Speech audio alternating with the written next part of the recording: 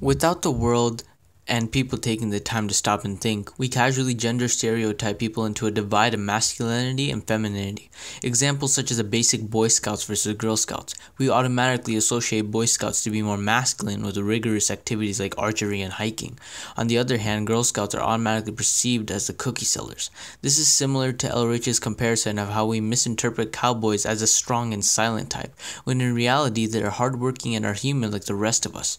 We keep skewed perceptions and mindsets and, as, and we as people allow it to happen without even batting an eye towards the subject. One of the best examples that show masculinity and femininity are TV shows and movies, specifically superheroes, comparing two different heroes such as Superman and Wonder Woman.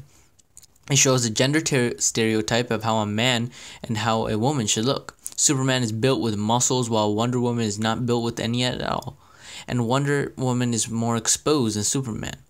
Another superhero that show that portrays gender stereotypes is My Hero Academia, based off of American culture of superheroes. A hero named All Might is seen as a muscle packed, buff, strong dude that could beat anyone in the face of danger. He shows strong resemblance of Superman. Compare that to another female superhero in the show, Nana Shimura, and the difference in their built is very much different. Women are seen as a weaker sex in everything. Even military regiments stereotype masculinity and femininity because the training exercise requirements for a woman are less than men, which is symbolizing that women are weaker than men.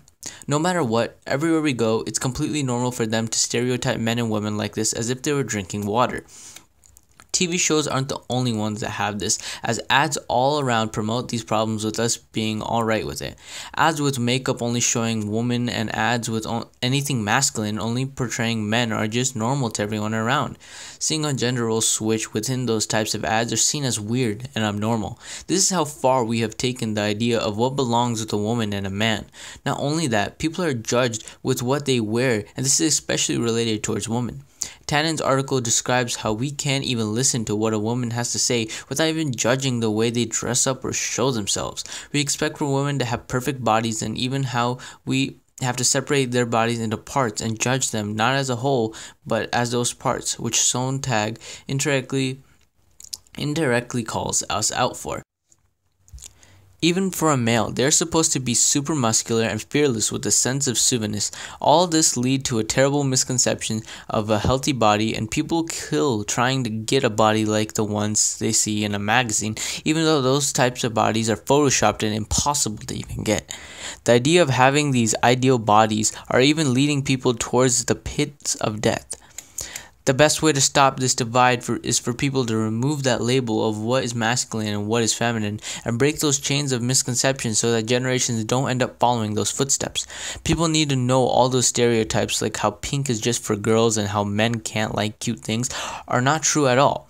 It is us who create that misconception that causes the big gender gap between men and women because of what we perceive to be true.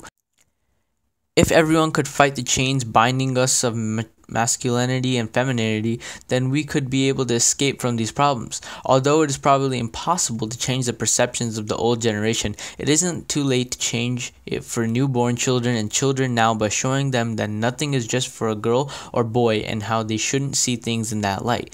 If we are able to do that, then this would combat the skewed beliefs of masculinity and femininity and lead the world into a change for something better.